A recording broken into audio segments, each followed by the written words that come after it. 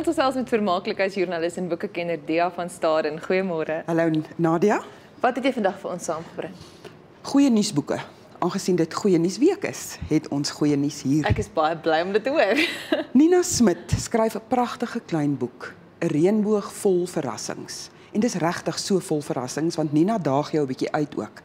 Dis asof sy in haar boek sê, uh hoor hier, mm. daar is 'n paar dinge wat jy self weer in die spieël voor moet kyk mm.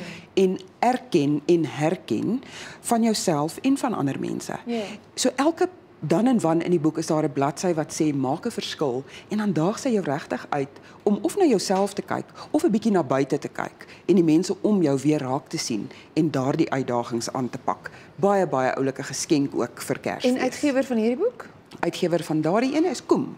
En Ek moet jou sê ek hou baie van die feit dat dit dat dit mooi lyk. Dit lyk nie oudtyds nie as jy verstaan wat ek bedoel. Nee, die uiltjies is 'n ja. tema wat sy deur die boek neem, uh, wat jy oral sal sien en dan sy pers gebruik saam met die swart. Dit is lieflik. Baie oulike boek. Die ewigheid in my hart ja? deur Barend Vos. As jy nou geïnspireerd wil wees hierdie jaar, dan is hierdie boek vir jou.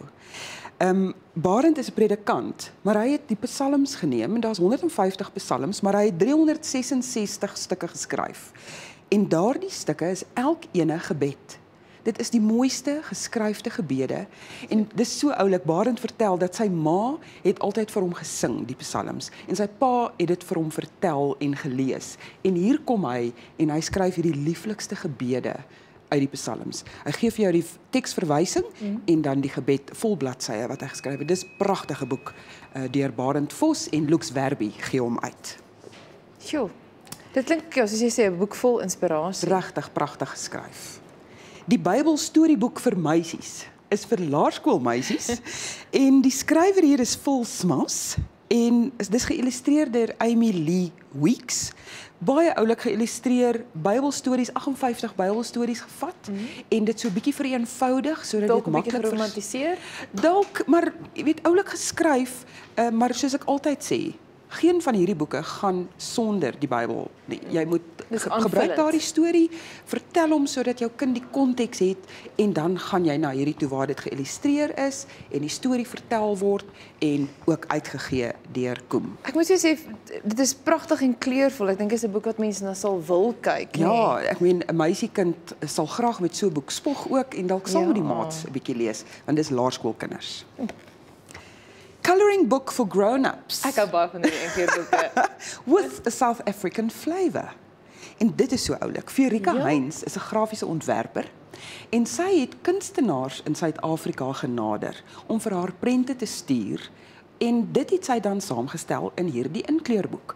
So dit is so 'n unieke samestelling. Ja. Uh, die prente wat gebruik is is totaal uiteenlopend. Jy kan sien wanneer dit 'n ou hand is wat hier geskets het of wanneer dit 'n jong persoon is want sy het studente genader. Sy het gebruik gemaak van selfs binnenshuise versierders, ehm um, klereontwerpers. Ja. Daardie tipe ontwerpe het sy dan ook hierin vervat. So Verika kan bereik word op Facebook en ons sal haar besonderhede ook op die Facebook blad sit um, van Groot FM. Ja, net 'n paar van die kunstenaars Piet Grobler sien ek hier, Mago Haat, Aletta Mikaleitos. Ja, Dick Grobler is ook daar ja, in. Ja, 'n hele string kunstenaars. Merna Uh, en baie terapeuties, nee. Baie, baie terapeuties. En dan het jy 'n dik boek hier op jou skoot. Die boek van die jaar.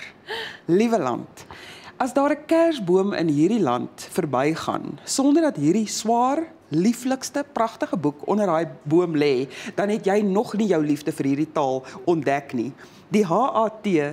se 6ste uitgawe is die wonderlikste samestelling oor die 2 miljoen woorde. Wow. Nadia hierin sure. vervat. Standaard variëteit van die taal word hmm. gebruik. Wie is die uitgewer hier? Pearson gee die Pearson? boek uit. En hierdie boek kan jy as jy enige vrae het, kan mense vir jou e-pos stuur. Mense kan 'n e-pos stuur.